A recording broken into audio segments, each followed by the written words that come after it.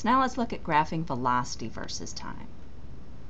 So we're going to start with just velocity in one dimension, and so that's going to be the velocity along a line. Could be a horizontal line, could be a vertical line, but in either case we're talking about how fast and in which direction am I traveling.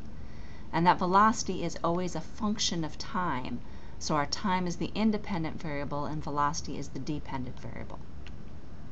Because of this, time is always going to be plotted along our horizontal axis and velocity is always going to go along the vertical axis. Now if I have data points I can create a graph or if I've got a graph I can extract data from that graph. For example on this graph if I wanted to know the velocity at 4 seconds I can see that that is 2 meters per second and it's a positive 2 meters per second.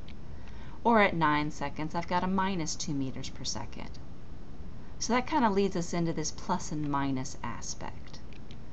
Anytime that we have a positive number on the graph above zero, that means we've got a positive velocity, or I'm moving forward along whatever line I've defined.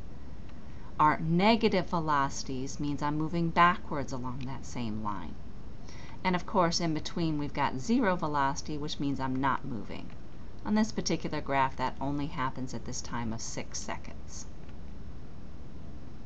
Remember that your graphs do not have to be very nice and neat little segments like the one we have drawn before. Any type of motion, you can have your velocity changing over time and we can either read our data off the graph or interpret what that means about the motion. We're going to learn a lot more about interpreting the motion later. So for now, that's just a brief introduction to graphing velocity versus time. Check out our other videos to understand how to interpret these graphs.